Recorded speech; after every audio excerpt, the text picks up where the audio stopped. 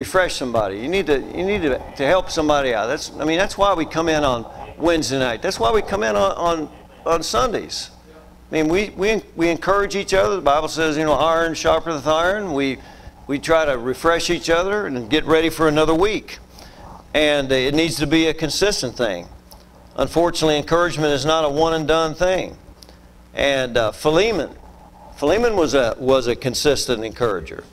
So I say this be a consistent encourager.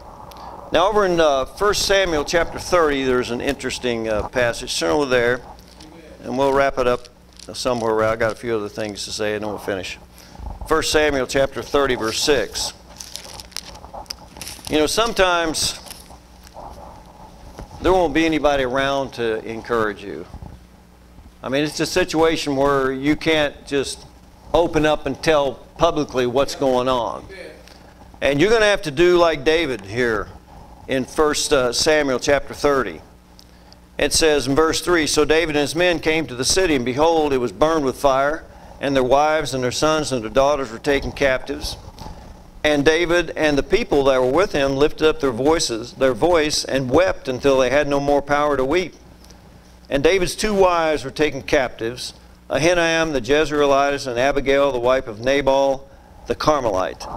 And David was greatly distressed, for the people spake of stoning him, because the soul of all the people were grie was grieved, every man for his sons and for his daughters. But David encouraged himself in the Lord his God.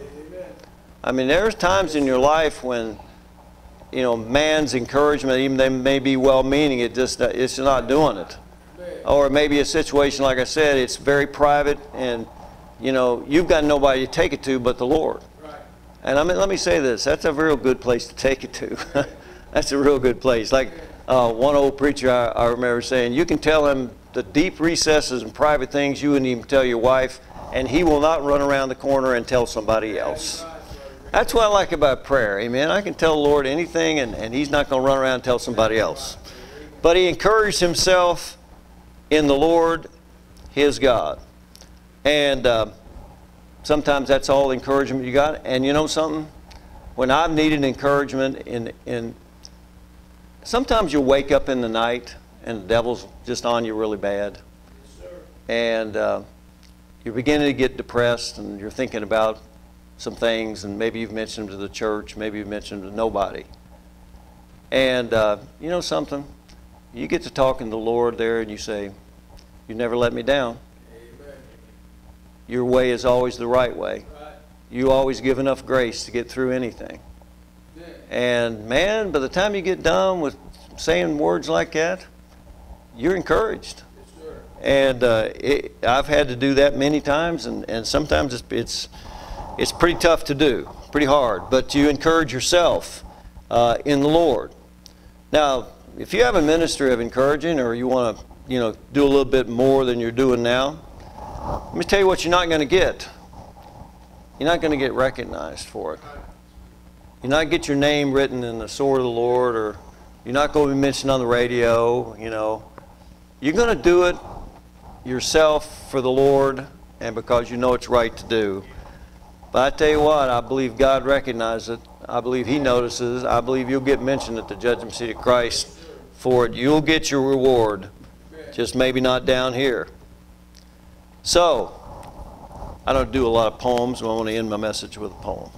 I'm not a poem guy, but I like this poem. Poem written by a woman named Alice Bennett. says, I have no voice for singing. I cannot make a speech. I have no gift for music. I know I cannot teach. I am no good at learning. Uh, I'm no good at leading, so I can't write. I, I'm no good at writing. I'm no good at, at leading. I cannot organize, and anything I write would never win a prize. But at roll call and meetings, I always answer here. When others are performing, I lend a listening ear. It seems my only talent is neither big nor rare, just to listen and encourage and to fill a, a vacant chair. But all those gifted people could not so brightly shine were it not for those whose use, who use a talent such as mine. Amen. And so if all you ever do in the Christian life is encourage somebody else, you're liable to get more rewards at the judgment seat of Christ than you think.